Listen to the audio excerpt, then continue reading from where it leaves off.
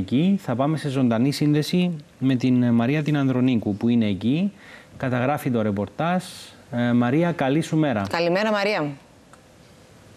Καλημέρα Κωνσταντίνε, καλημέρα Στέλλα. Τη δική τους μάχη δίνουν από την Τρίτη το πρωί οι κάτοικοι της Καλαβασού μετά και τις έντονες βροχοπτώσεις που ε, έχουν σημειωθεί και προκάλεσαν τεράστιες ζημιές ε, στην κοινότητα και τους κατοίκους εδώ. Δίπλα μας έχουμε τον κύριο Λευτέρη Φωκά, ο οποίος είναι ο κοινοτάρχης της κοινότητας. Ε, κύριε Φωκά, θέλω να μας πείτε πώς μας βρίσκει η σημερινή ημέρα, ε, ποια είναι η υπάρχουσα φάση της κατάστασης; Ε, Όπως είπα και χθες, μέρα με τη μέρα η ένταση του, ε, της ροής του νερού πηγαίνει πιο κάτω. Σήμερα είμαστε κάπως καλύτερα. Ε, έχουμε προβλήματα όμως τα οποία πρέπει ε, να είμαστε επιποδός για να τα διορθώσουμε. Όπως παραδείγματος χάρη την ε, παροχή του, του ηλεκτρισμού στις κατοικίες και ε, το πόσιμο νερό. Πόσα συνολικά άτομα επηρεάστηκαν από την κατάσταση αυτή; Ε, τα άτομα που επηρεάστηκαν άμεσα και κινδύνευσαν ήταν 10 και μετακινηθήκαν ε, ε, από άντρες της ΕΜΑΚ. Ε, οι υπόλοιποι ε, σπίτια ήταν σε ε, δύσκολη θέση γιατί αποκοπήκαν. Είναι γύρω στις 20 κατοικίες περίπου που επηρεαστήκαν από χωρίς ρεύμα και χωρίς νερό.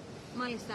Ε, Μας έχετε πει ότι υπάρχουν κατοικίες χωρίς ρεύμα ε, και όλη η κοινότητα χωρίς νερό, σωστά; Ναι. Ε, προσπά... Στην προσπάθεια για να αν μπορέσουμε να ανοίξουμε κάποιες διόδους ε, από τα ε, γεφύρια για να πέσει το ύψος του νερού για να μπορέσουμε να, απο, να ενώσουμε την κοινότητα γιατί αποκοπήκα κάποιοι κατοίκοι ε, όπως ε, φάνηκε έχει σπάσει μια κεντρική σωλήνα, ένας αγωγός νερού και υποχρεωτικά ε, κλείσαμε το νερό για να μπορέσουμε, αν τα καταφέρουμε σήμερα, να το επιδιορθώσουμε.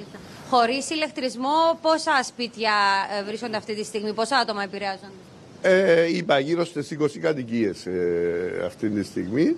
Ε, υπόσχεση, χθες εργάζονται μέχρι ώρα 8 τα συνεργεία της ΑΕΚ. Η υπόσχεση είναι ότι σήμερα το πρωί ε, ε, θα τα καταφέρουν σε μια-δυο ώρες να μας δώσουν ηλεκτρισμό.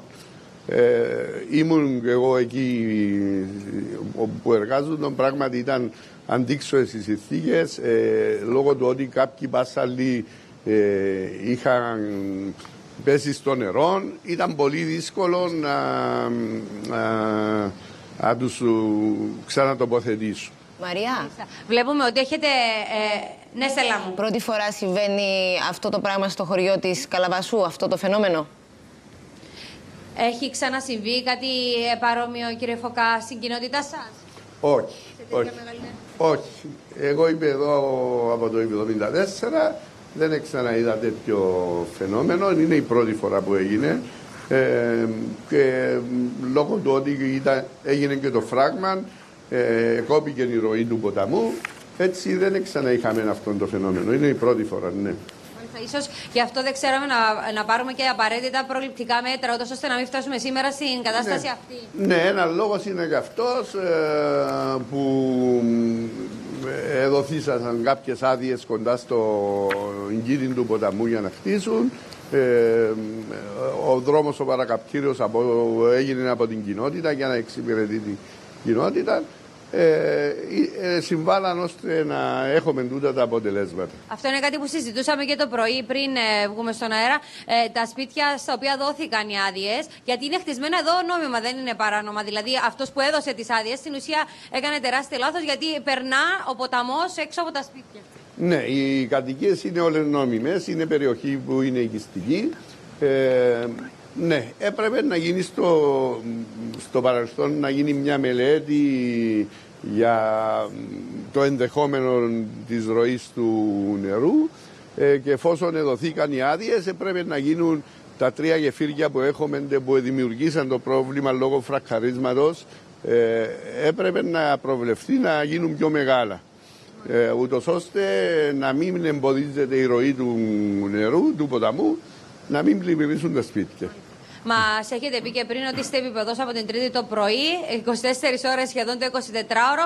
Έχετε, α, τα, η, ο τείχος που βλέπετε απέναντι, Κωνσταντίνε και Στέλλα, είναι κάτι το οποίο έχουν- έχει τοποθετηθεί χθες το βράδυ, ούτως ώστε να αποκόψει λίγο τη ροή του νερού, να μην μπαίνει στα σπίτια απέναντι. Δεν ξέρω αν διακρίνεται. Ναι, ναι, αν και φαίνεται. υπάρχει βέβαια νερό. Απλά ε, έγινε μια προσπάθεια για αποκοπή του νερού, ε, κύριε Φωκά. Ναι, ήταν για δύο λόγους που το κάναμε. ναι. Ο, ο, ο πρώτος λόγος ήταν ότι ε, οι κάτοικοι της ε, βόρειας ε, περιοχής μετά τον ποταμό δεν μπορούσαν, αποκοπήκασαν, συγγνώμη, και δεν μπορούσαν να έχουν επικοινωνία ούτε να πάνε στις εργασίες τους, ούτε οι μαθητές των σχολείων. Η προσπάθεια ήταν να να δημιουργήσουμε μια δίωδο ούτως ώστε να μπορούν να απεγκλωβιστούν βασικά. Και η δε- ο δεύτερος λόγος ήταν ε, για να μην πλημμυρίζουν περισσότερο τα σπίτια.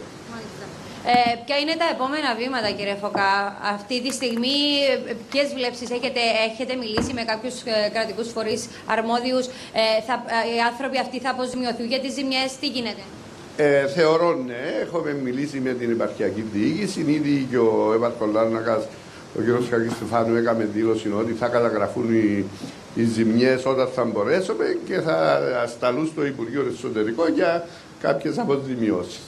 Ε, εντάξει, αυτή τη στιγμή είναι η σημερινή μέρα ε, θα μας ε, θα γίνουν προσπάθειες ούτως ώστε να μπορέσουμε τε- να δώσουμε τον ηλεκτρισμό όπως είπα και να α, δω- α, ενώσουμε και το, τον πόσιμο νερό για τους κατοίκους. Μάλιστα. Και Μάλιστα. φυσικά ο αγώνας θα συνεχιστεί και τις επόμενες μέρες, κύριε Φωκά. Να σας ευχηθούμε έτσι καλή δύναμη σε όλο αυτό και σε εσάς αλλά και στους κατοίκους που επηρεάζονται άμεσα. Ε, οι εικόνες είναι πραγματικά τραγικές. Τις βλέπετε κι εσείς. Ναι, είναι πρωτόγνωρες, θα λέγαμε. Ευχαριστούμε πολύ, Ευχαριστούμε, Μαρία. και εσένα και τον ε, κοινοταρχή Καλαβασού.